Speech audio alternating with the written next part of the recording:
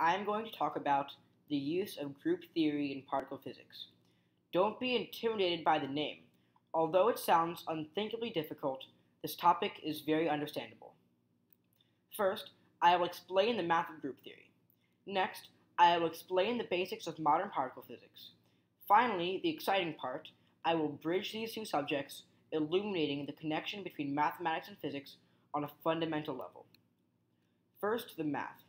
To understand group theory, let's talk about symmetry. What comes to mind? You may think of a snowflake, a butterfly, or maybe the human body. In everyday language, symmetry means beautiful and harmonious, balance and proportion.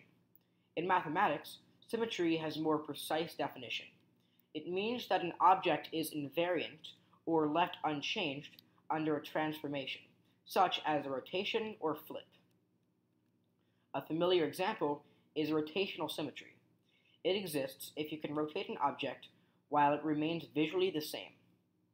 Consider two simple shapes, the cube and the sphere. Which is more symmetric? In the case of the cube, there are 24 different ways to rotate it such that it retains the same shape, so we can say that a cube has 24 symmetries. With a sphere, since there are an infinite number of symmetrical rotations, it has an infinite number of symmetries. Now it is obvious that since a sphere has an infinite number of symmetries, while a cube has only 24, the sphere is more symmetric than the cube. Let's move on to the concept of a group. A group is the set of all symmetries of an object. For example, the symmetry group of a cube consists of 24 elements, each of its 24 symmetries. A group is an abstract mathematical entity that describes an object and is constructed from an object's symmetries, not the physical object. Certain groups are given specific names. For example, the symmetry group of a sphere is known as SO3. Now it's time to talk about the basics of particle physics. Particle physics is the study of the fundamental constituents of our universe, the basic building blocks, and the interactions between them. You probably have learned that all matter consists of atoms, which in turn consist of electrons orbiting a nucleus of particles called protons and neutrons. What you may not have learned is that both protons and neutrons are made out of even smaller particles called quarks. There are six different types, or as physicists say, flavors of quarks. We will be dealing here with only the three most common ones, which are the up quark, the down quark, and the strange quark. Quarks only exist in what is called a bound state of two or three quarks known as a hadron. A proton is a hadron with two up quarks and one down quark, and a neutron is a hadron with one up quark and two down quarks. But what about that other strange quark? If protons and neutrons make up all matter, and they only consist of up and down quarks, then what are strange quarks for? It turns out that there are that there are numerous other hadrons besides the familiar proton and neutron. If many other particles exist, why is our ordinary world made up of only protons and neutrons? This is because the other hadrons decay or break down very rapidly, so we can only observe them for a very short time. The proton and neutron are both far more stable than the other hadrons, and as a result, they form the stable matter we see in the world around us. From the 1950s to the 1960s, particle physics was a new and exciting subject, and many hadrons were discovered. It was a great mystery as to why there were so many different kinds of particles that had no apparent purpose. Some physicists even joked that, that physics was turning into botany. This finally brings us to the connection between the math and the physics.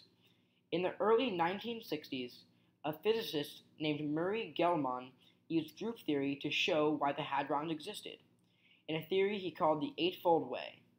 What Murray Gell-Mann discovered, and won the Nobel Prize for, was that just as a cube has symmetries, so do all hadrons. The kinds of symmetries we deal with in particle physics are more abstract than the ones we are familiar with. They are what I call replacement symmetries. Imagine a long row of identical chairs. If I secretly swapped the positions of two of the chairs, would you be able to notice what I had done? you would have no way of knowing whether I had done nothing, swapped two chairs, or even swapped all of the chairs. This is what I mean by a replacement symmetry. In physics, a similar, yet more complex, type of symmetry occurs.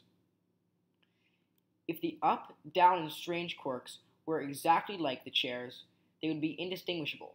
However, the up quark has a slightly smaller mass than the down quark, and the strange quark has a slightly larger mass than, than the down quark. So, they are not completely symmetric. The quarks do, however, share some of the same properties, such as what they can interact with. So it is said that there is an approximate symmetry between them. This is known as a flavor symmetry. Using the chair analogy, we would only be able to put the chairs in a few specific configurations in order to keep the final arrangement indistinguishable. Remember that groups can have names? The quark symmetry group is called SU3, which is very similar to the symmetry group of three chairs. If we swap two chairs positions, this transformation would be called an element in the symmetry group.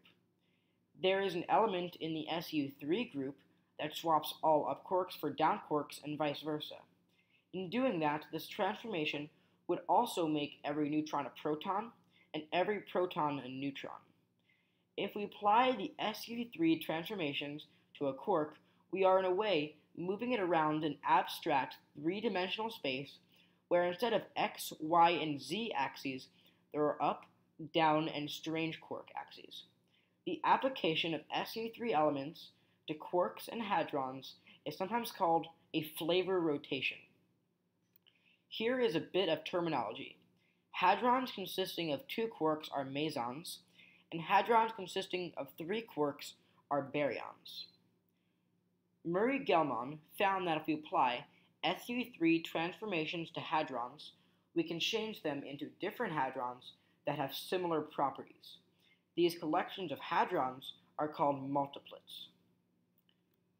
Applying the SU3 transformations to a meson yields a total of eight different mesons, which form an eight-dimensional multiplet or an octet. If we apply this procedure to baryons, like the proton or neutron, we also get an octet.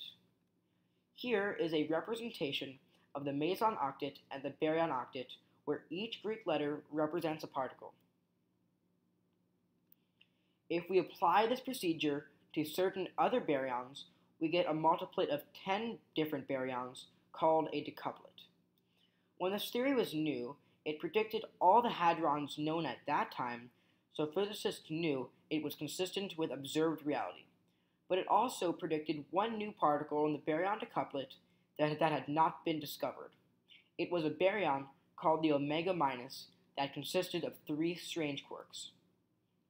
When it was discovered a few years later, it was considered experimental evidence for the theory, and Murray-Gell-Mann won the 1969 Nobel Prize in Physics. This breakthrough is important not just because it tells us about the universe. It is also a perfect example of how math and physics are so closely related. Some people think that math is only a tool one uses to understand physics, but one might go so far as to say that physics actually is math. Either way, it is especially apparent in this example that abstract mathematical concepts, such as groups, can conjure themselves in the physical world.